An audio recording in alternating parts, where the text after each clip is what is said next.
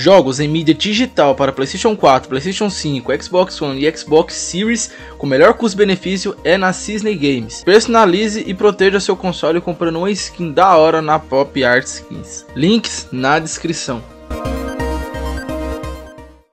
Fala aí galera, beleza? Guto de volta com mais um vídeo pra vocês e galera, no vídeo de hoje eu trago só notícia boa para donos de Playstation 4, coisas relacionadas ao Playstation 4 que vai chegar para o PS4 e a gente só ganha com isso, né? Então, antes de começar o vídeo, já clica embaixo no gostei, que isso ajuda demais, se inscreve aí se é novo para não perder nenhum vídeo, ativa o sino para ser notificados, coloca todas no YouTube, não manda os novos para vocês, Vale ressaltar que o meu site está aqui embaixo na descrição com jogos para PlayStation 3, PlayStation 4 e PlayStation 5. Tá tendo promoção de jogos de PS4 até amanhã, só jogos recentes, então confere. E também tem consoles, controles, headsets gamers, teclado gamer. Também tem o contato no WhatsApp para vocês tirarem dúvidas o tempo inteiro aqui na descrição. E SN Games com cartões pré-pagos para PlayStation, Xbox, Nintendo Switch e até recarga de celular. SN Games aqui embaixo na descrição do vídeo, beleza galera? Vamos começar o vídeo aqui então falando dessas coisas boas, só notícia boa para o PlayStation 4 e também PlayStation 5. Primeiramente, estúdio da PlayStation está desenvolvendo mais de 25 jogos para o PS5.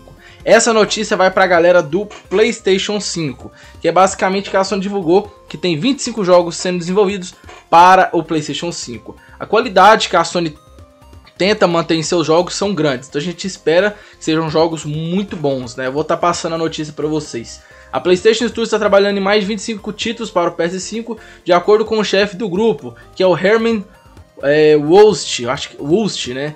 Inclusive, todas as notícias boas viram, viram através dele, né? Que é o fundador da Guerrilla Games e responsável por liderar o grupo de estúdios da PlayStation desde 2019. Ele, ele revelou em conversa que o PlayStation Studio está desenvolvendo 25 jogos e que é quase a metade deles são novas prioridades intelectuais. São coisas novas, né?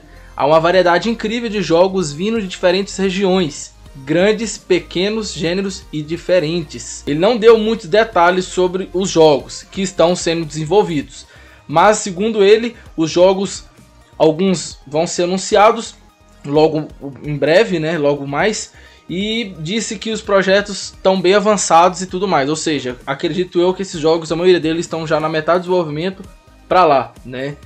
E ainda ele continua. Ainda assim, o fato de que estão trabalhando em cerca de 12 games de novas franquias e bem interessante para os donos do PlayStation 5. O único problema é que o estoque do console continua baixo até pelo menos 2022. Realmente, a Sony está sofrendo com a questão da demanda do PlayStation 5. Ela não consegue atender o número de pessoas que quer o console. Que se ela tivesse conseguindo, o PS5 vendeu, acho que foi 8 milhões de consoles. Estaria em 15 milhões fácil, entendeu? Então esses jogos são focados no PlayStation 5. Inclusive ele mencionou por último que 12 jogos são franquias bem interessantes ou seja, dando a entender jogos AAAs. Os outros jogos eu acredito que sejam jogos mais indie, jogos mais simples, né? E 12 jogos AAA, jogos grandes, de grande desenvolvimento, que a gente espera aí, talvez até que recentemente eu trouxe um vídeo falando que a Band Studios, né, produtora do Days Gone, diz que está desenvolvendo um jogo no mesmo universo de Days Gone, assim, mundo aberto. Então a gente imagina um jogo de mundo aberto chegando para o PlayStation de forma exclusiva, né? Que é jogo exclusivo para o PlayStation. Cara, isso empolga bastante. A gente infelizmente não sabe quais são os jogos porque ele não divulgou, mas tem muito jogo sendo desenvolvido. E essa geração promete ser muito boa, com muito jogo, né? O PS4 teve bastante, mas eu acho que deveria ter mais, né? Durante enquanto ela estava ativa. Agora o PS5 vai lançar os jogos do PS5 e claro, vão continuar lançando vários ainda para o PlayStation 4. O PS4 ainda tem muita muita brasa ainda, né, para queimar aí. E outra coisa, galera, essa aqui dá seguimento com o assunto que eu já tinha dito de novos jogos chegando para o PlayStation. Essa daqui é o seguinte: PlayStation garante que essa pandemia com esse vírus, né, não vai afetar a qualidade dos exclusivos da casa. É uma notícia muito boa, porque a gente fica um pouco preocupado, né, digamos assim, porque com esse momento de pandemia, os estúdios não estão aglomerando. Cada desenvolvedor está na sua casa fazendo sua função isso faz com que, não estando juntos ali, eles não troquem as ideias que devem trocar com mais facilidade, mais na prática, digamos, né? Porque cada um na sua casa fica um pouco mais complicado. Ficar, fica, mas a Sony garantiu que isso não vai afetar, por mais que os jogos demorem mais para ser lançados, eles vão ser mais com qualidade. Muita gente chega a ficar meio irritados, né? Quando certos jogos aí, quando você gosta ou você espera, é adiado. Fica grilado porque o jogo foi adiado, mas cara, pensa por um lado, adiamento é bom, porque se a produtora vê que não vai conseguir entregar o jogo na qualidade exata, é, eles adiam para melhorar, para lançar um jogo mais liso, entendeu? Para todo mundo e não acontecer igual aconteceu com Cyberpunk. Recentemente foi adiado o novo God of War, milhares de pessoas ficou revoltadas com isso, inclusive uns babacas, né? Ficou é, atacando até desenvolvedores do jogo, tipo ameaçando até porque o jogo foi adiado e que até ele vai lançar pro PS4. Tipo, egoísmo, porque a Sony disse que ele iria lançar só pro PS5 e levou, vai levar ele pro PS4. E a Sony em momento algum ela falou: "Compre um PlayStation 5 porque você vai jogar God of War só nele". Ela não falou isso em momento algum. Então, tipo assim, tem doido para tudo. E a Sony já garantiu que os desenvolvimentos dos jogos não vai atrapalhar a qualidade por conta dessa pandemia. Isso também ainda foi falado pelo Herman, diretor da PlayStation Studios, diz que é o maior desafio da pandemia está sendo na captura de movimentos com atores reais. Só isso, porque eles têm que estar ali juntos ali. Só isso está interferindo. O resto, mesmo por mais que enrole mais, só que está tendo um ótimo trabalho sim, né? Então ele afirmou isso daí. E aqui ele ainda fala que o desafio é só nessa questão dos movimentos, né? No caso, dos movimentos com captura de movimentos, né? E é isso então, cara. Os jogos a gente espera só jogo bom Igual esse ano vai ser Horizon The Forbidden West, Forbidden West, né? E ano que vem o God of War, que seria o Ragnarok, agora provavelmente não vai ser esse nome Ragnarok mais. Também vamos ter, vamos ter também o novo Ratchet Clank, né? O Rift Apart, que vai lançar pro PS5. Tem muita coisinha aí boa que vai ser lançada.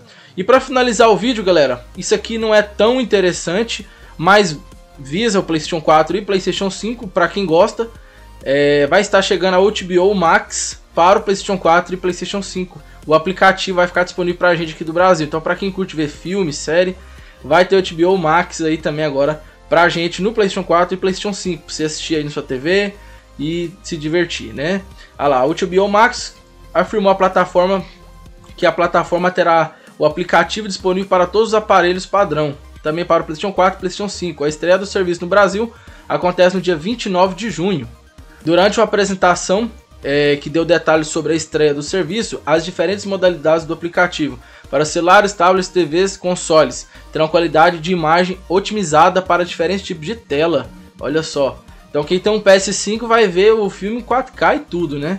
A plataforma conta com mais de 15 mil horas de conteúdo, entre séries, filmes e produções exclusivas. Além disso, a HBO Max diz estar negociando com produtoras locais para trazer conteúdos únicos para o Brasil. Ó, vai ter exclusividades ainda, hein?